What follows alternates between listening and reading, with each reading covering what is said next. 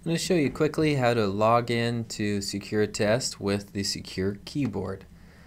So first we're going to go in the Secure Launcher screen, we're going to go to the top right, little down arrow, and we're going to select the cog wheel. On the left side here you see the option for language. I'm going to touch on language and then on this list of keyboards we're going to select the Air Secure Test as an option.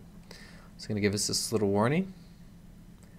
We can now go back, back, and that Air Secure Test keyboard has been selected. So if I go into Secure Test Application here at the bottom, it's going to say please select the keyboard. Sure enough, we can select the Air Secure keyboard, continue, Air Secure Test always. Now we're in the testing interface and we're ready to test.